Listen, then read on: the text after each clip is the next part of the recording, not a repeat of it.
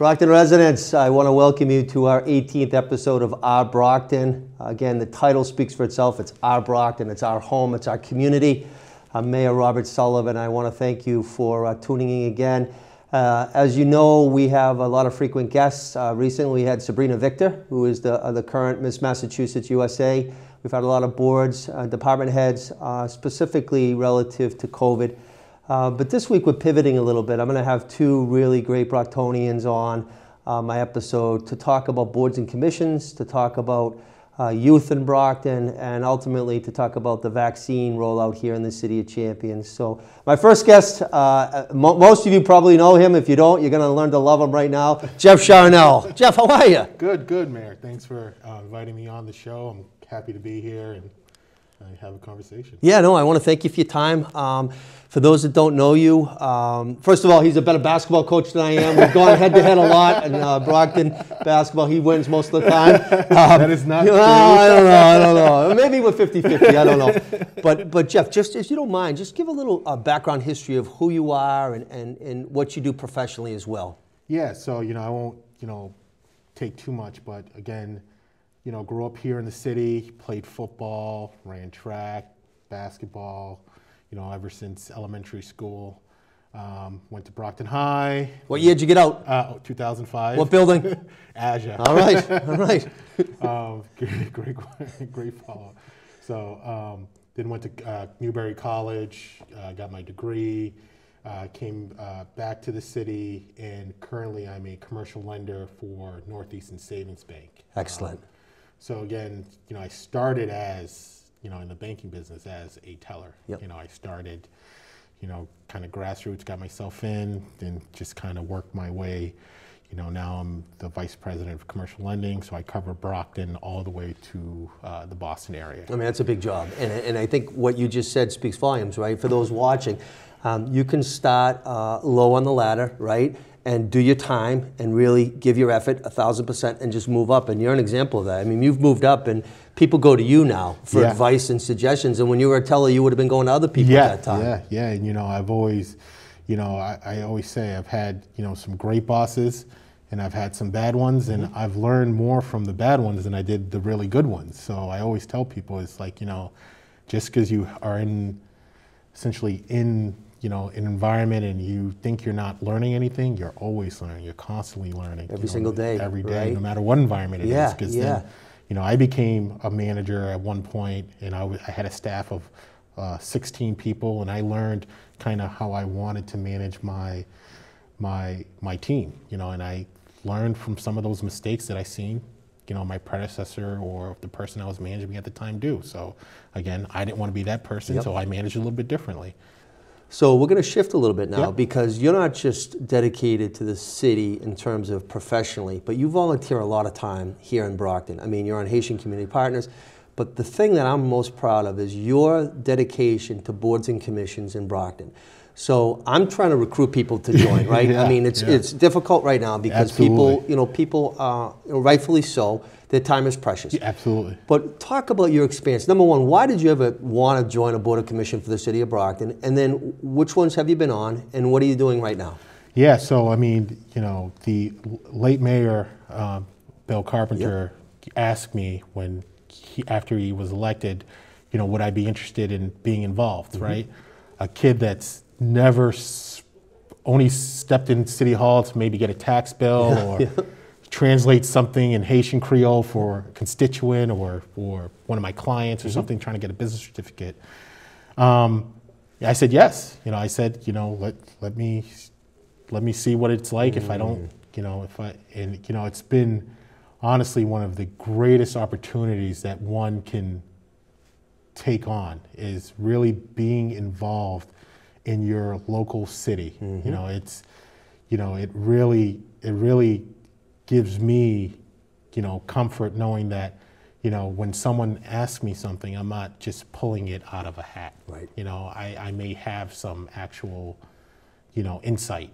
You know, like when I was on zoning, I had mm-hmm. some insight. You know, I actually had read the case Yes. and had done some research and had talked to you about, mm. you know, your your constituents in your area or the constituents at large. You know, so it you know it's been very you know one would say that you know it might be you know waste of time mm-hmm. this and that. Mm-hmm. You know i'm i'm one to say that that is completely false. I mean this is you know being involved in your local government where your children your family all these people are is very vital. And we need more people you know, to get involved, be involved. And I, I remember on our call the other week, you're like, everyone wants to be on zoning and on Right. planning. right, right, right. And those are the big ones, Those right? are the big ones, you know, and and I would say that you know that's the, I mean it just you know it's just not it's not about those two No. those two commissions No, either. You know, I you know I was fortunate to to have the mayor think that I w- would do well, and I, I think I You did exceptional. No, you I did. think I And added I'm not- I- value. I- but I- what I will say, so again, when I was a counselor at large, I would go to these meetings, and people that want to do it the right way really dig in. Right? Yeah. They do their due diligence, Yeah. they do their homework, they're Yeah. prepared. And when I would see you at your table, you'd have everything spread Oh, out. You were ready to go. Yeah. There was no joke there. You were No, ready to no, go. no, and, and I, I, I went it. to the sites. I, you know, you know, again, I, I had read plans, Yep. but not at that depth. Yes. You know, knowing where catch basins Oh, are, yeah. and you know, easements and all these things that you know one doesn't think about when they're thinking about a development. You know, is really in, in depth. So I, you know, it, you know, it really helped. It, but it helped me in my career. You know, I can say that you know I've met a lot of people you know in and around the city. Um, I know a lot of the you know developers. You know I know all the city council Yep. people. You know the people in the different departments. You know the, you know one would think that you know as you get more involved, it just helps you. You know whatever it doesn't matter to me. It doesn't matter what you're doing. No, it's just relationship building. Yeah, you're right? building relationships, Right. Mayor. I mean, that's I mean that's what you know you've done your whole career. You've built relationships. You've built uh, a base of people. You have supporters. I mean, this stuff is great. Yeah, it is. No, it is. And so tell everybody what you're on right now because it's vitally important. Yeah, so I'm currently on the License Commission, um, um, and you know Hank is our our chairman. Um, we, I think we do a great job. Excellent job. I think Hank is a great person to have as the the because Hank Tataglia, yeah, yeah. because he's ran a restaurant. Yep. He's been in that industry. He Yep. understands it, and you know, he honestly sometimes is like Jeff. You know, he gives me some perspective that I'm like, oh, okay, Right. You know, so I've learned a lot um, on that on that uh, uh, commission, uh, and I, I I thank the mayor for you know allowing me to continue to serve because you know I you know I it's vital that we help businesses, we keep businesses going. Yep.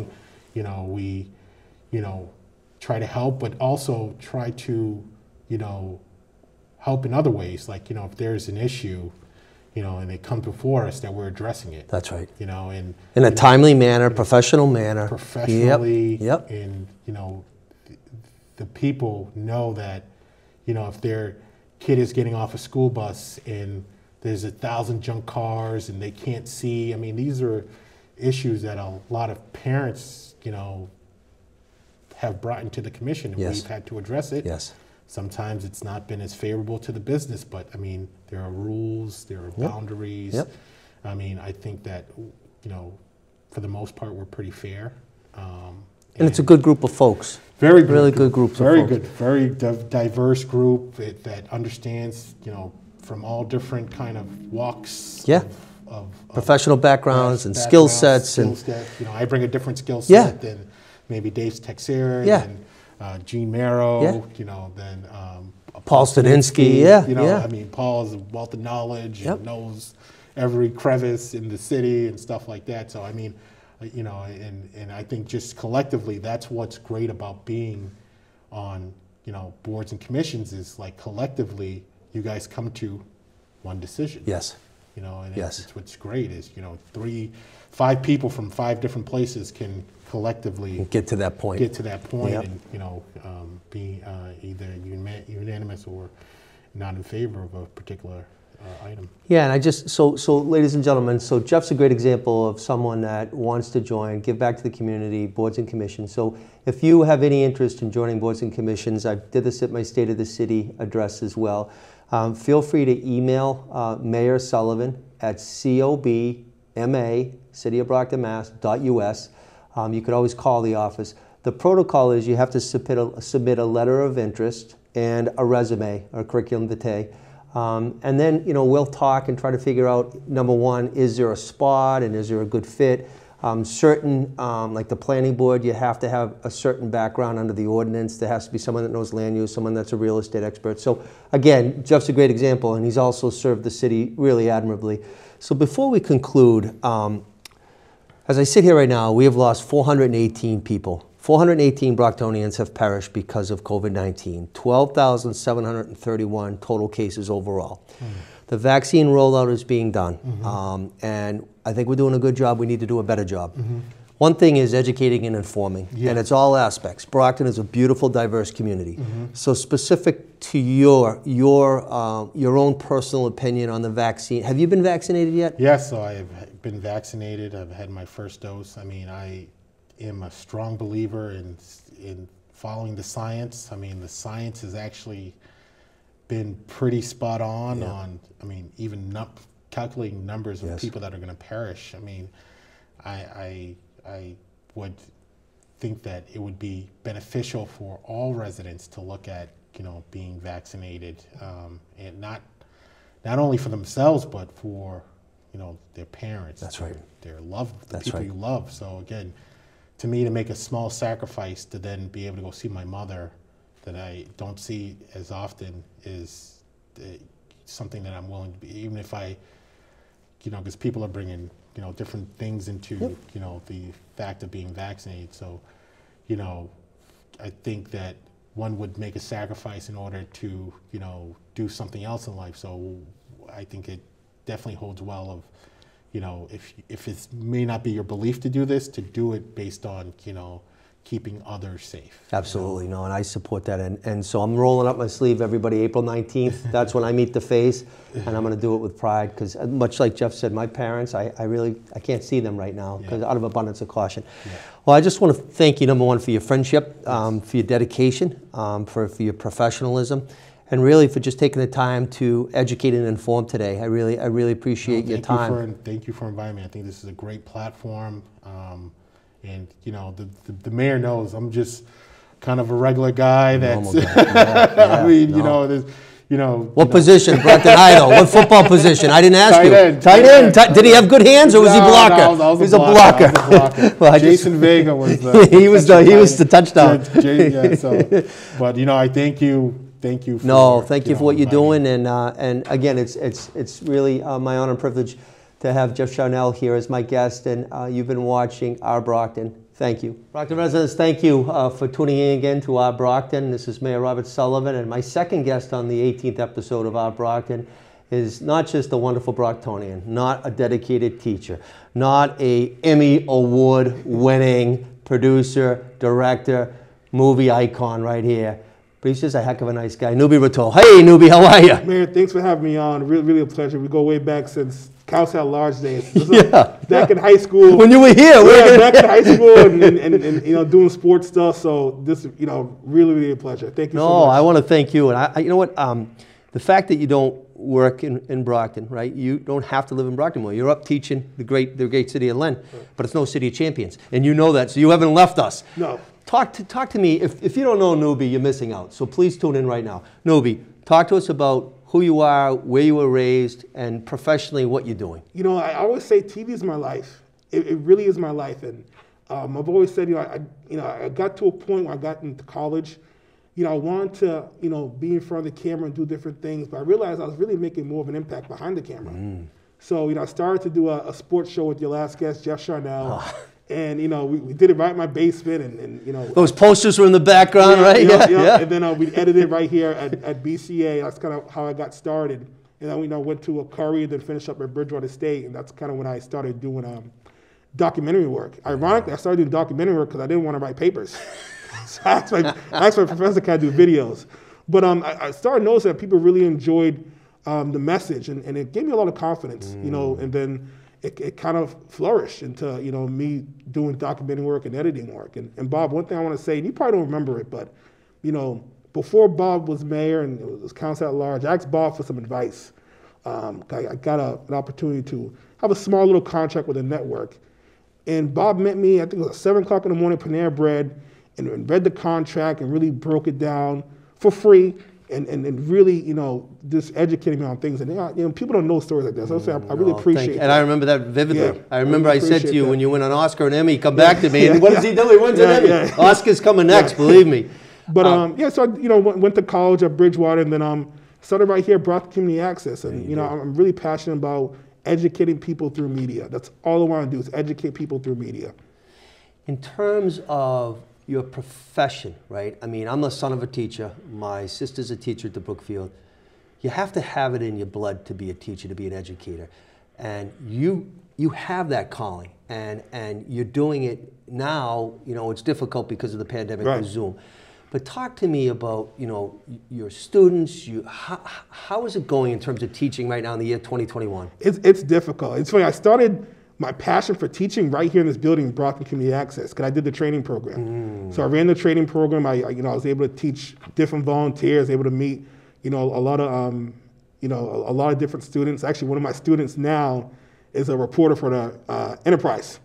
So it, it's it's crazy how full circle. I, I still feel like I'm young, but I'm like I'm getting up there now. so I started there, and then um, you know, I, I um, you know, late Mayor Bill Carpenter, you know, asked me to be a part of the director of communications, and I've always said it's like a call to service. You couldn't say no. Yeah. So you know, that wasn't part of my plans, but you know, I'm like it's an honor, and I, I definitely want to pursue the challenge. But I really want to go back to teaching. You know, I really enjoy doing teaching at Brock Community Access, and I want to, to you know, to do that. So I had an opportunity to uh, teach at a vocational school in Lynn, and, and teaching 2020 up until this year is not easy. You know, but and and I really uh, just want to give a shout out to the teachers because it's mentally draining. Yes, it is. it really is. But ultimately, um, I think it's going to make us better. I think it's going to make the students better in terms of, you know, being able to use a computer and accessing files and things like that. So it's a challenge, but ultimately, you know, I've always said pain is temporary, right? Yeah. Pain is temporary, and Yeah. it will, it's going to make us stronger. So, um, you know, it's we're, we'll, we'll get back. I've always said to the students, you know what? This is a fight. It's 15 rounds, Yep. And, and we got to put our dukes up, and that's what we're doing right now. No, and, and we are. We definitely are. There's no doubt about that. And it's a challenge. You know, we got to dust ourselves up and get Right. back up and start swinging. In terms of projects you're working on right now, um, anything you want to share right now? The documentary that we're focusing right now that held us back a little bit with the pandemic is immigration. Again, another hot issue. Yes. Um, and you know what we like to do in, in our in our projects is really I don't I don't think it's the job of the media to take a side. I think it's the job of the media to tell the story Yep. and the audience figure out based on what I'm showing them which side they agree with and not. So I try doing it in a passionate, creative way. Um, so we do focus on immigration in America, and we're going to travel the country. And you know, Brockton is a great story of, of successful immigrants. Yeah, it is. Us, you know, me and you. I mean, we're you know, Absolutely. immigrant success stories. So we want to tell those stories, but you know, there's some controversial issues going on, obviously, with the former president Yep. and things going on now in the border. So we want to tell that story Good. and educate people. Good. I mean, the story needs to be told. Right. You know, and, and one thing that, that, you know, you and I share a vision is, is, listen, you have to learn from the past to forge to the future.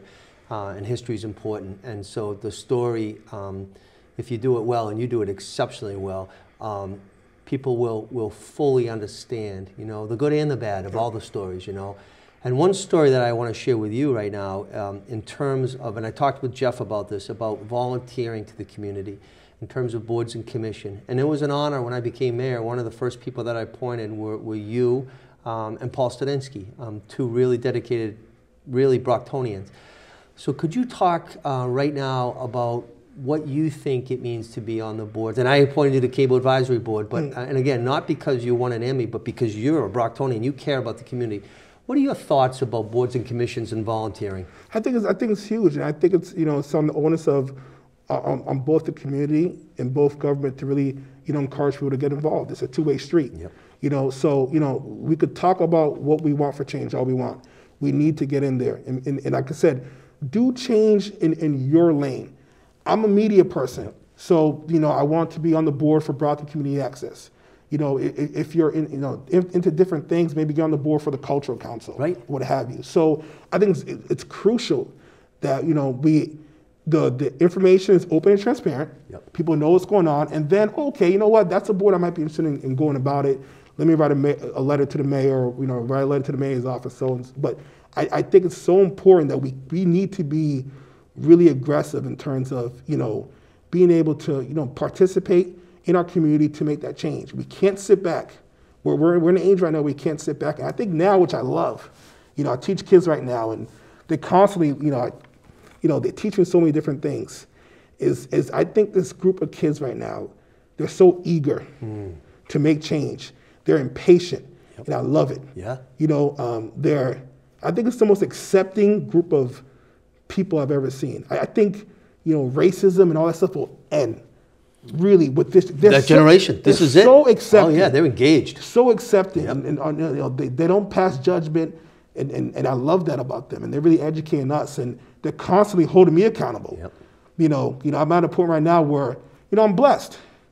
But just because I quote unquote made it, I can't sit back. Now I got to pass the baton forward Absolutely. and have them go further than I did. That's right. So I, that's what I love about this generation is that they're so eager. And listen, they make mistakes, and sometimes I need to say, "Hey, don't go about it that way. Yep. You know, maybe go about it a different way, a little more, you know, in, in, in, in a, you know, maybe not be so aggressive on certain things."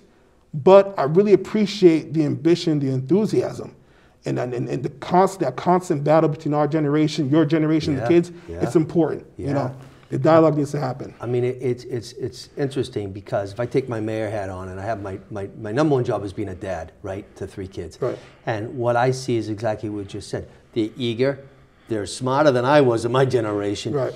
And they're not afraid to speak their mind, and nor should they be. And and that's what's so exciting, you know. And you know, we can be mentors, but we also are their allies, and they're, you know, um, we're going to work together. That's the biggest thing. And so, uh, again, one thing that I just wanted to say again, which I, I said to Jeff, is, is I, I am just so pleased that that Newbie uh, is taking time out of his busy life um, to volunteer. And so, if people are interested, we want to get the best of Brockton boards and commissions, right? And it, it runs the gamut.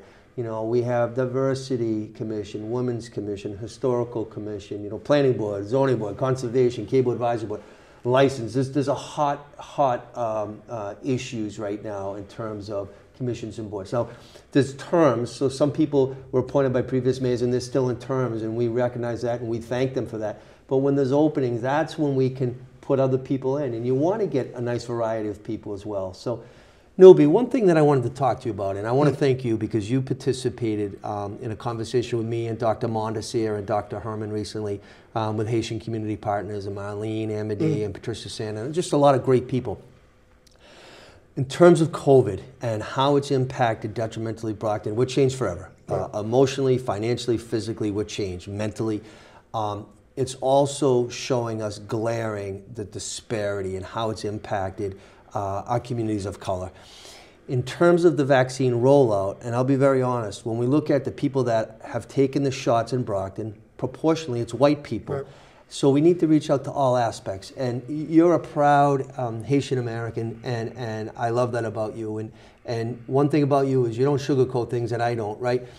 What are your thoughts on the vaccine? Your own personal thoughts about the vaccine? Listen, I, I believe in science, and, and you know I don't not just going to talk about. I am, I am about it. I took my first vaccine, my first dose. I'm taking my second one um, next week. Great. It's, it's, it's Moderna. Good. There's there's fears, and, and, and those are natural. Yep. Those are natural fears.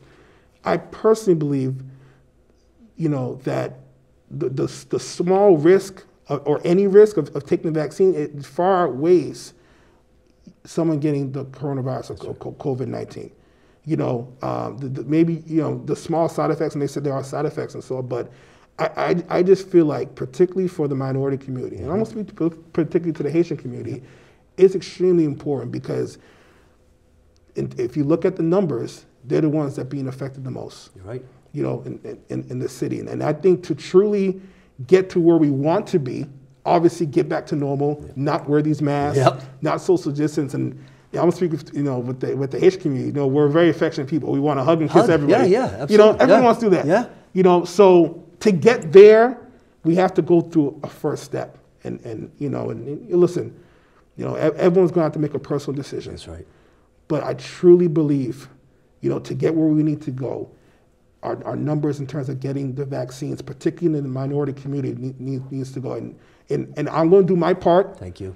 You know, to to publicize myself getting the vaccine. Um, you know, I, I want to actually follow one or two people getting the vaccine and show them the process. You know, my grandma's 94; she got the vaccine. I love her. You Good. know, um, and and you know, I just think it's important that we want to get back to normalcy. Yes, Our do. kids need to get back to school. Yep. Our kids need to get back to school. Yep. And and th- that's this is the first step. Thank you. Thank you for sharing your personal opinions. And so again, I just want to say that uh, we have our Board of Health getting our local allotment from DPH of our vaccines. So usually it's Moderna and Pfizer. This week we got J and J, Johnson and Johnson, which is great because that's the one shot and you're done, right? But also our partners at Neighborhood Health Center, they're getting their federal allotment because of President Biden designated them a federal designee. So they're getting a percentage from the federal government, and they're also getting their own from the state, DPH.